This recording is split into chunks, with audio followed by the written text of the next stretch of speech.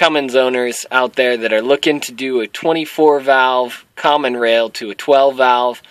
Wanted to talk real quickly with you about what we found works for all AC compressors.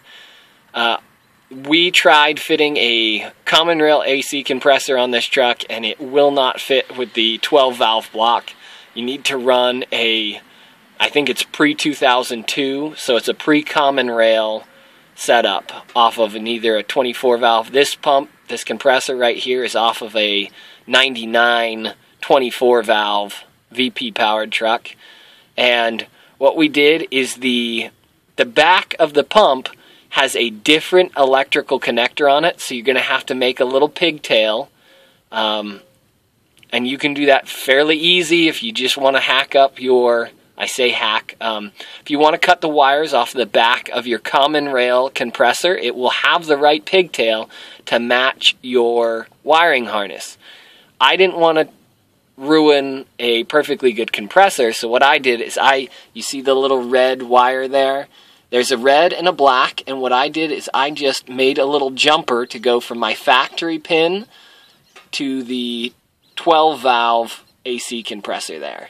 The rest of the stuff, you can see the sensors right there for checking pressure and everything to let it switch on. Those all work. The AC in this truck worked till the compressor burned up, and of course it was wintertime by then. I didn't bother recharging this one, but it's all set up, it's all wired in. All I have to do is recharge it in the spring and it'll start. So, the other thing that I wanted to show you that's important for this function, um, you'll see in some of the Cummins forums where it talks about uh,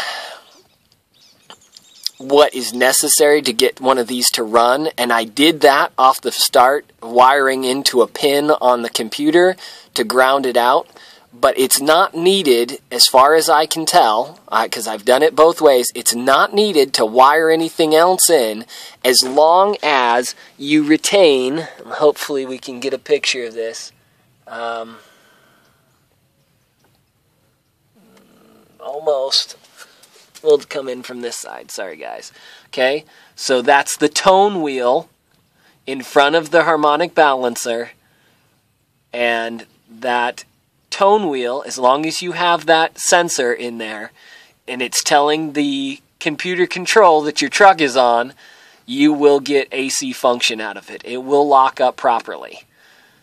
So that's an important thing. If you want AC to work on your truck, don't skimp out. I think you can get one of these setups with the block that spaces it out correctly from D-stroked for about a hundred bucks. I think it is somewhere around there plus shipping probably, and reuse your common rail tach sensor or buy they have a very nice kit. Of course that adds a little extra cost to it. But between those two things, a proper tach sensor that's working with the right tooth count, um, you can see how tight those teeth are. It's about a 60 minus 2, I think. Um, you cannot use a wider tooth spread. Like if you get a 36 minus 1 or something like that, you won't get it'll tell the engine, you'll still get AC compressor lockup, but you won't have the correct tach reading. Okay, I hope that helps everybody out that's thinking about how to get the AC working on their common rail truck. Enjoy, guys. Good luck out there.